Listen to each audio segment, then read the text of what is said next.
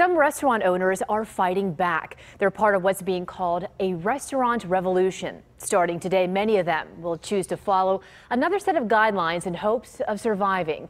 Here's how they're doing and what Allegheny County leaders are saying about the move.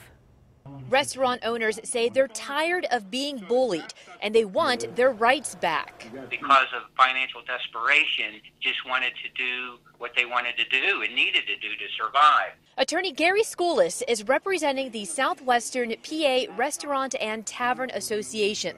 The group is part of the Restaurant Revolution, which is happening across Pennsylvania.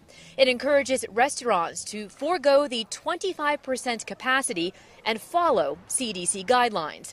Schoolis says it's what stores like Walmart and Target follow, and that's what restaurant owners want. Currently, the 25% is uh, it's, it, it's unworkable econ- economically. Uh, it, it, doesn't make any sense to open the business. KDKA reached out to Allegheny County leaders who say their COVID enforcement task force will cite restaurants if they don't follow the rules, and so will the LCB.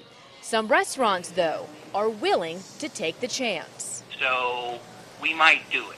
Not everybody. Every, every uh, restaurant, diner, caterer, bar, tavern, they have to make their own decisions. The association also sent out letters to Governor Tom Wolf in hopes of working something out.